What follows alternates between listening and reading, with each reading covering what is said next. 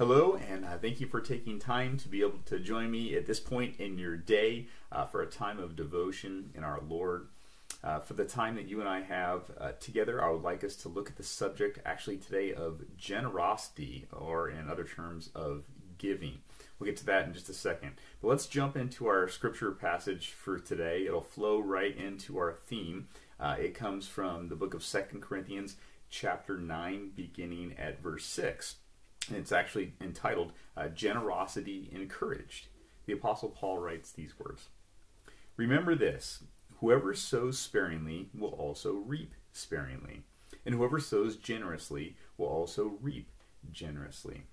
Each of you should give what you have decided in your heart to give, not reluctantly or under compulsion, for God loves a cheerful giver. And God is able to bless you abundantly, so that in, in all things, at all times, having all that you need, you will abound in every good work. Uh, well, for most of us, uh, this last week on Thursday marked a time of Thanksgiving. Uh, all of us know that holiday and that celebration pretty well. Uh, the day afterwards, that Friday, is often marked as being Black Friday, the biggest shopping day of the year. It probably looked uh, quite a bit different for most people this year. Uh, those that like to get up early and go out and try to find deals, maybe even wait overnight or be right at certain places at the stroke of midnight, is doors would open to be able to find something uh, just at the best bargain ever. Of course, we have Saturday and Sunday, which follow, and then we come to Monday, a time that is also deemed as being a shopping holiday, this Cyber Monday, a time in which you can go online and find the best deals of the year. Don't even have to leave your house. Maybe you can get an early Christmas present. And finally, we come to today, a day which too is marked with a certain title, maybe one that's not so familiar, but it's actually known as Giving Tuesday. Uh, this is a holiday, if you will, that was started uh, in 2012. So it's been going on for about eight years now. And it was a challenge for not just Christians, but anyone to be able to give back, to be able to give of their, their time, their efforts, their energy, their finances, uh, either to a, a, loved one, a neighbor, uh, to your community, an organization around the world. And what a great celebration for us to be able to have. Uh, a time maybe to push aside all those deals that we were hoping to get for ourselves or uh, just having food and festivities of, of party time on our own but to look outward and to be able to see uh, what can I do to be generous. You know, Paul encourages that in our text for today, uh, for us to be generous. He talks about being able to sow generously and that we will reap generously. Now, when he makes that promise, uh, it isn't saying that if you give more money to church, if you give more time to your community, God is going to bless you like crazy. You're going to get a raise at work. You're going to have more time to live on this earth. That is not what he is saying. But I hope you feel as I do when I am able to give.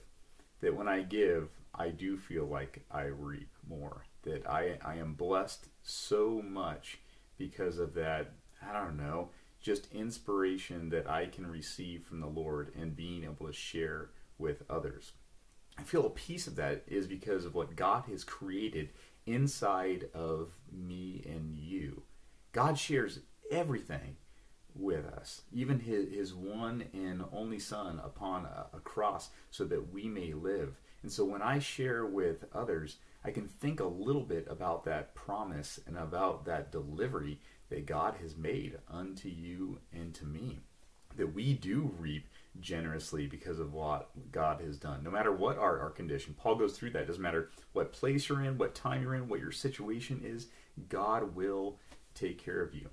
And so today we are challenged as a congregation to be able to not just sit back, but to be able to act and think, how can I give on this Tuesday and going forward to those who are around me?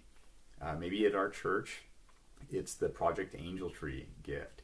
Uh, such a simple thing. Grab one of those uh, pieces off the tree, one of those little angel tree gift cards this week, and be able to donate a gift card to a family who is in need. Uh, maybe you want to make a, a, donation to our youth group and be able to lift up our, our children so they can just do something fun over uh, the Christmas season. Um, maybe it is that end of year gift that many of us make to be able to support our congregation. But think outside of that also. It's not just about our church, it's about all of those who are outside of our walls. How can you give to your, your neighbor this week, to somebody who is in need? Uh, how can you be able to provide time or maybe be able to provide some type of uh, physical need that they may have?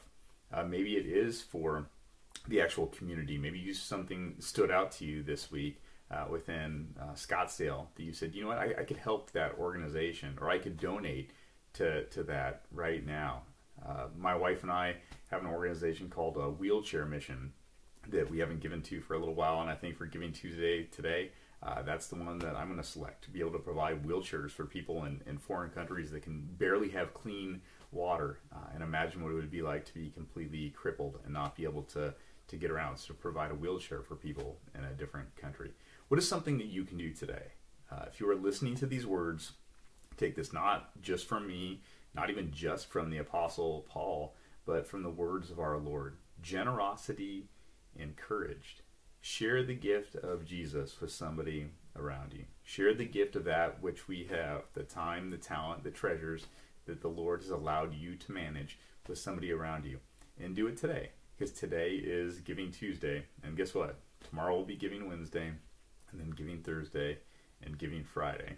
A Good Friday, in which we remember the blessings that God has always bestowed upon us, His people, over and over and over again in the birth and the death, and of course in the resurrection of his Son. Let's pray. Dear Lord Heavenly Father, we thank you for the opportunities that you give us as Christians to be able to share with our uh, fellow brothers and sisters in Christ, and even those that are outside our realm currently, Lord. Uh, we pray for them that by being able to share generously of not only the things that we have, but the testimony that you have given, uh, that you will use us by your Spirit to win over more in heaven on the final day than exist at this time. Lord, again, we thank you for this opportunity. Uh, challenge us and open up our minds to be able to give to you and to your people. In your Son's name we do pray. Amen. All right, we'll catch you later this week.